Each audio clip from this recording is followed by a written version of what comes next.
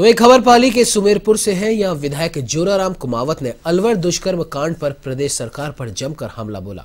उन्होंने कहा कि बच्ची के साथ गलत काम हुआ और सरकार अब सिर्फ़ राजनीति कर रही है।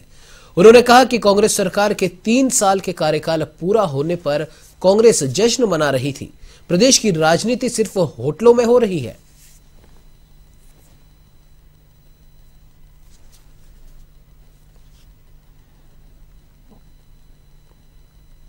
की जनता, सिर्फ़ राम भरोसे जी रही है और कानून व्यवस्था के मामले में, मेरे ख्याल से महिला उत्पीड़न के मामले में राजस्थान पूरे भारत में सर्वश्रेष्ठ है। और सबसे ज़्यादा यहाँ जो घटनाएँ हो रही है, वो सबसे ज़्यादा राजस्थान में हो रही है। एस सी के उत्पीड़न में भी राजस्थान को, इन्होंने